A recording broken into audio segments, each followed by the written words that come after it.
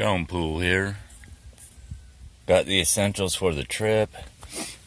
I got my Phantom 3 in there. Got my Bugs 2C in there. Got my computer in here.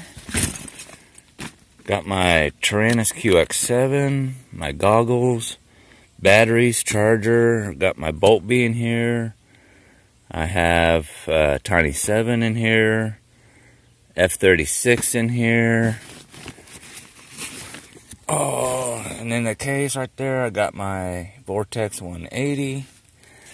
So, hopefully I can get some flying in, but this is more of a family time visit, so we're about ready to go. We'll be hitting the road soon.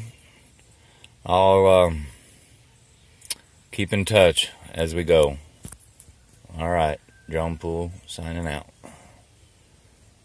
I got a load more crap.